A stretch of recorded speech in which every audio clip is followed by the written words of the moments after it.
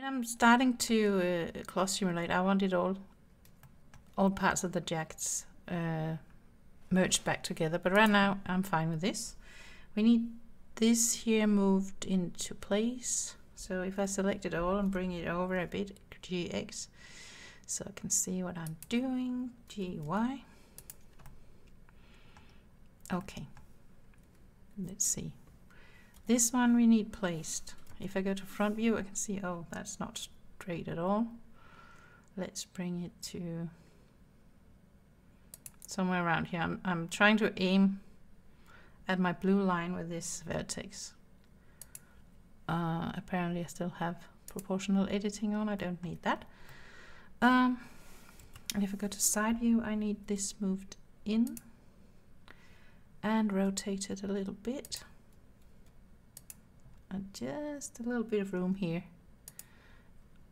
would be good.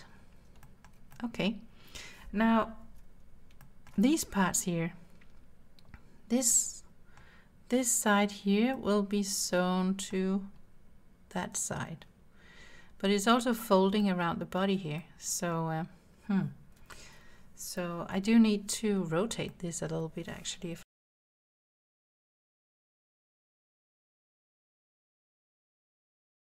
Okay, now I can see it. So that vertex will sew to that vertex, right?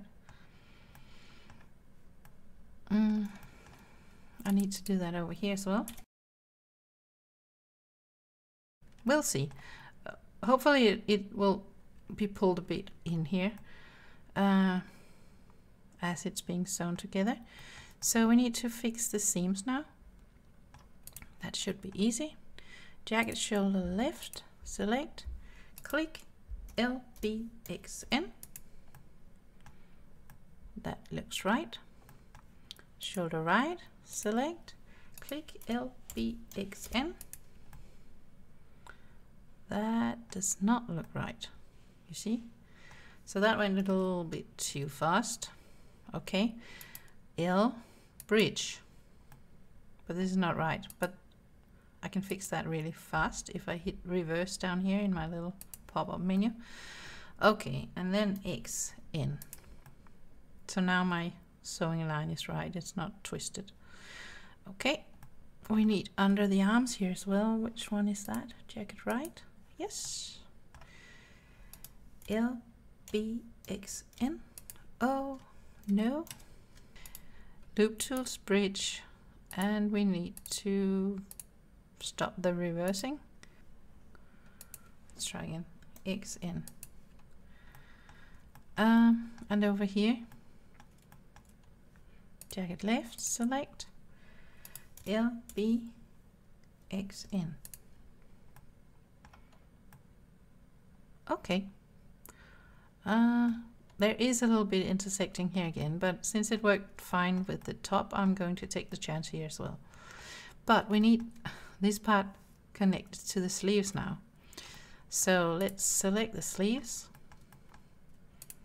and select the jacket. If we select the jacket as the last one, that will be the, I don't know what to call it, the root, I guess. And that should bring us back with our object origin down here because right now the sleeves have object origins there and there. So let's try Control J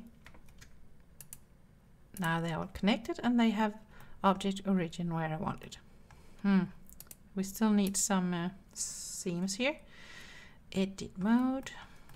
So this is the right sleeve. Sleeve, right back, select. Okay. Click L, B, X, N. And the other one, right front, select it looks right. So click LBXN. Yep. And the other one. That sleeve left back, select. That looks right. Click LBXN. Yep, that went right. No twisting there. And left front looks right as well. Click LBXN. Uh, yep. So, so now we are sort of ready to cloth simulate as we tried before.